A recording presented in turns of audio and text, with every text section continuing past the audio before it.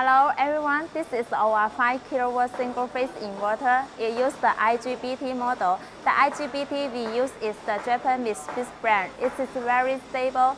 Now we add the APP Wi-Fi function in the inverter. We are the only one IoT solar factory in China.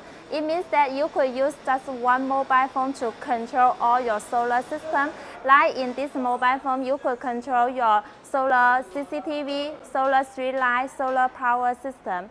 In the APP, you could know the working data of the inverter. It is very helpful for you to do the maintenance of the solar system.